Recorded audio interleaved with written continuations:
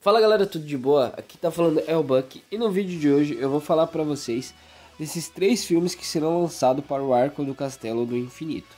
Mas para vocês entenderem melhor toda essa história, eu peço para vocês ficarem até o final do vídeo, desde já deixa seu like e se inscreva no canal do Buck, nessa tropa-net que cresce a cada dia mais. Galera, minha meta para esse mês de julho é bater 50 mil inscritos. Eu conto com a ajuda de todos vocês. Vamos dar um salve galera, pro pessoal que comentou no meu último vídeo.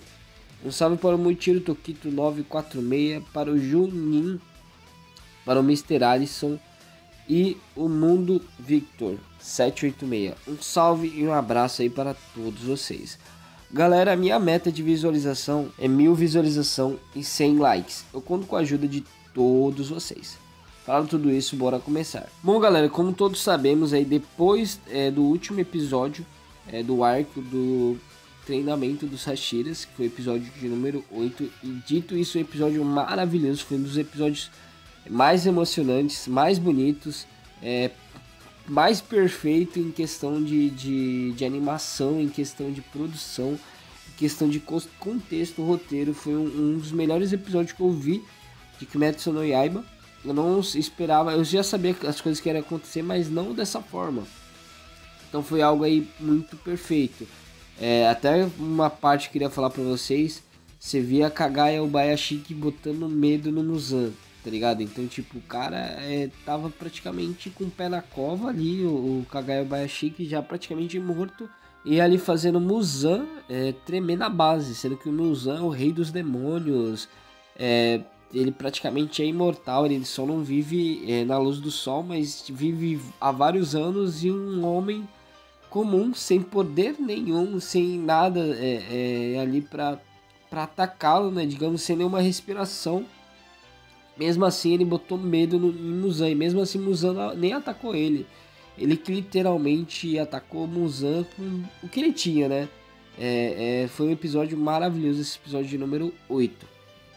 E na, no mesmo dia que foi lançado esse episódio, já foi é, determinado pela Sony e pela Crunchyroll que o Castelo do Infinito Arco vai ser baseado em três filmes, vai ser feito em três filmes, então vai passar aí nos cinemas.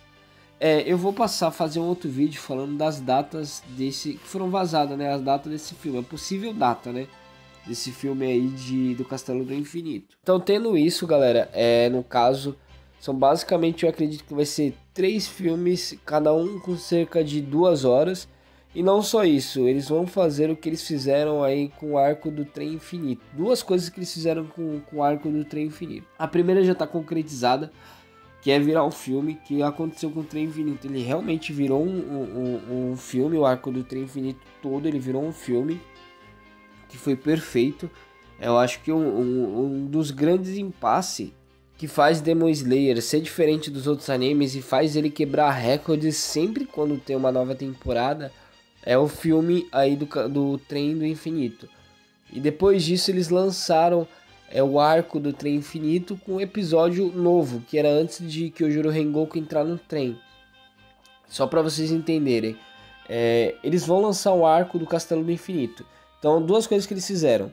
Eles lançaram o filme do Trem Infinito, algo que vai acontecer com o Castelo do Infinito. Ele vai lançar três filmes referente a esse arco e depois que acabar esses três filmes, eles vão lançar o Arco do Castelo do Infinito. Quantos episódios vai ter? Eu não sei. Possivelmente, é, é se baseando em tudo que tivemos, até pelo filme é, do Trem Infinito, tivemos sete episódios. Dividindo aí 7, 14, dá 21 episódios. Pode ser aí que o Arco do Castelo do Infinito, uma quinta temporada de Demon Slayer, até 21 episódios assim como foi a primeira temporada. Então essas duas coisas que aconteceu com o Arco do Trem Infinito, que é virar um filme e depois aí a, uma parte de série, de arco, né, de, de série, como foi a temporada, ou um, um split core, como realmente foi, porque o Arco do Trem Infinito ele é, é a segunda temporada com o primeiro split core, e o segundo split core é o arco aí do Distrito do Entretenimento. Então esses dois eles estão divididos aí na segunda temporada de Demon Slayer. E é algo que eu falo com certeza, porque eles não só iriam jogar o filme e deixar por isso mesmo, eles não são bobos de fazerem isso e depois terminar Demon Slayer em animação, porque ainda tem mais dois arcos, se eu não me engano, mais dois arcos aí para estar tá finalizando é, Demon Slayer, mas são os arcos muito curtos. Então é, é algo que eles vão fazer. É, acredito que não é viável fazer em filme, é melhor encerrar é, numa forma de animação que você tem um público do mundo todo. Uma coisa é você ter o filme. O filme ele vai quebrar recordes? Óbvio que sim. Mas é, é uma coisa é você ter várias pessoas do mundo esperar lançar o capítulo, o episódio. Porque lança no Japão a, depois de 3 horas ou 2 horas já lança aqui no, no, no, Brasil. Tem lugares que é mais rápido, tem lugares que demora mais, mas é, é na mesma sistemática. Então é, é, preferível eles terminar em série e animação do que aí é, é em cinema. Então a, a, o intuito, galera, desse vídeo é em fazerem vocês entender o porquê eles querem fazer isso, que é óbvio que é o que todo mundo faz por conta de trabalho, que é dinheiro que, que eles querem fazer isso e é algo que vai chamar muita atenção. E tem situações também que elevam tudo isso, porque Demon Slayer já tá para acabar. E a gente sabe que Demon Slayer, como eu falei para vocês, é um anime que quebrou recordes e que quebra recordes a cada momento de uma nova temporada.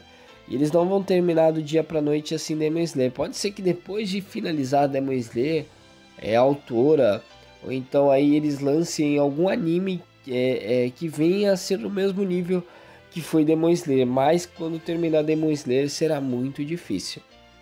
Eu até fiz um vídeo recente falando desses trailers que possivelmente teremos no, do, dos filmes, né? Ainda esse ano, porque por base em si, galera, uma análise minha, o primeiro filme de Demon Slayer, obviamente que todo mundo já sabe, só vai ser lançado em 2025, lá para meio do ano até o final. Então é algo que a gente não vai esperar, não vai esperar para agora. O que a gente espera serão trailers, serão cenas vazadas, mas não para agora, mais para frente.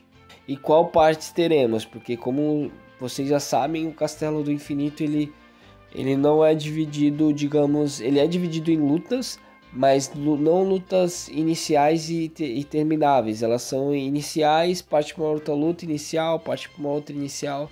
Ele é bem dividido, ele não tem algo mais focado em si. Beleza, galera? Então o vídeo de hoje foi esse.